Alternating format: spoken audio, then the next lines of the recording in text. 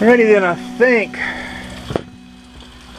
the uh, sump pump is working the way it's supposed to now.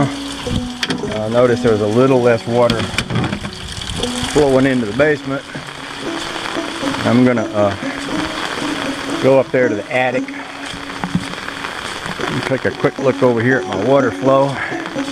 Water seems to be moving along real well. This is water that literally besides coming out of the end of this pipe here, it also comes right off the roof of the barn. So having it run across the yard there is just what we need. I might need to do some water management inside here. I noticed there was a little bit of water on one side in here and it'd be good if it was all running out the other side. It's not too bad here actually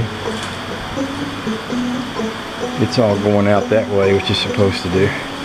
So, uh, I'm gonna go upstairs. I'm gonna need my screwdriver gun and my screws. And you guys, that's all I need. I'm gonna put y'all in my back pocket till I get upstairs. This part up here staying nice and dry. That's good. Uh, I knew it would, but it's always nice to see.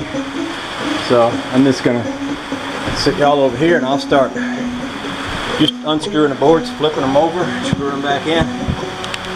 Simple as that.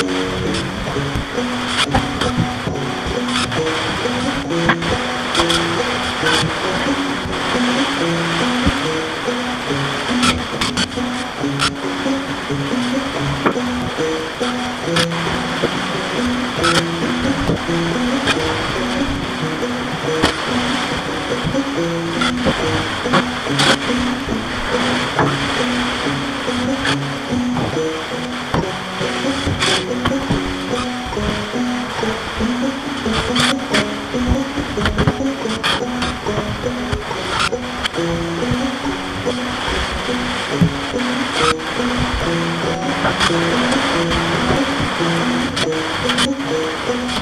you.